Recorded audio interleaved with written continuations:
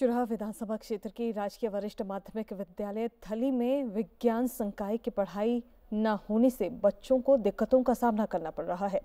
विद्यालय के प्रधानाचार्य रविंद्र कुमार प्रजापति का कहना है कि स्कूल में करीब 500 के बच्चे शिक्षा ग्रहण कर रहे हैं और ये विद्यालय पाँच पंचायतों का केंद्र बिंदु है।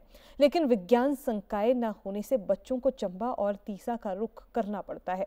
उन्होंने सरकार से उक्त स्कूल में विज्ञान संकाय शुरू करने की मांग की है। चार पाँच पंचायतें पड़ती हैं। तो ये एक सेंटर पॉइंट है, सेंटर स्कूल है। यहाँ मेरे पास लगभग 500 बच्चा जो है वो यहाँ पे अध्ययनरत है।